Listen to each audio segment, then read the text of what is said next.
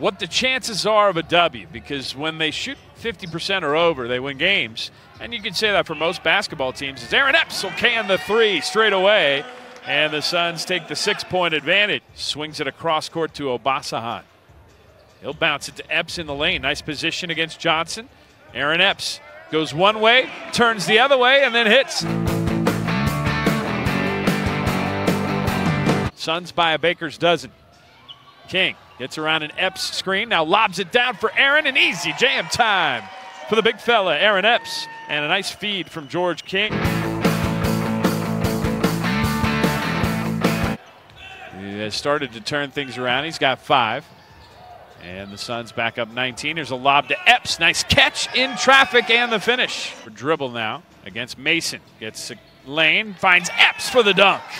26 point lead, their biggest of the day. Down to eight seconds. Okobo for Dixon. Penetrating again to Epps for the jam time. And he's got eight points to lead the Legends. Johnson, the second year pro out of Colorado, who played with George King, the Buffaloes. Here's a three from Aaron Epps. This is the biggest lead of the game for the Suns at 29. Obasohan sizing up Rathan Mays. Another three from Epps. Another one goes.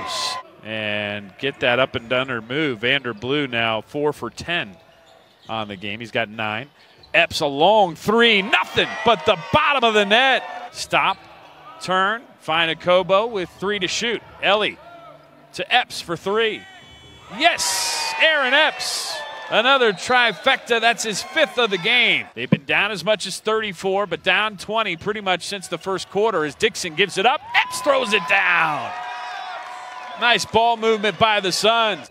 Never able to suit up for the Jayhawks. Here's Okobo bouncing down to Epps. He'll put it in. Nice feed from Elie to Aaron for the finish.